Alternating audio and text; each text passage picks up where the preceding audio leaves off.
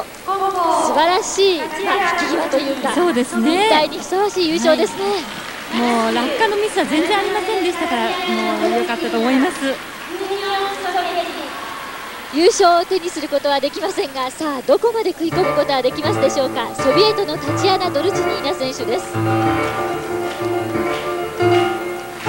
種目終わって3位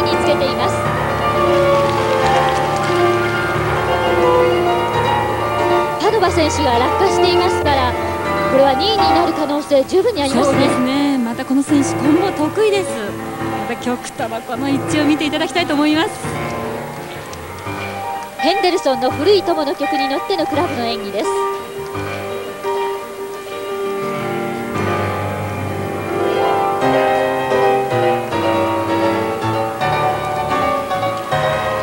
安定した投げ安定した回転ですね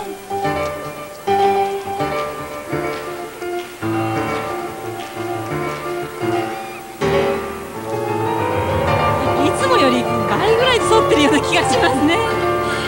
気合が入ってますね。よく見てました。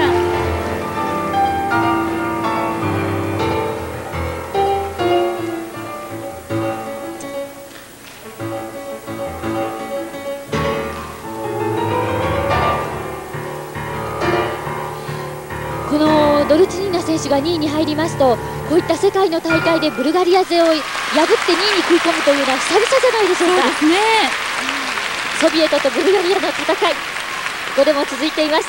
ドラマティックなアーティストたち新体操ワールドカップ生中継でお送りしています。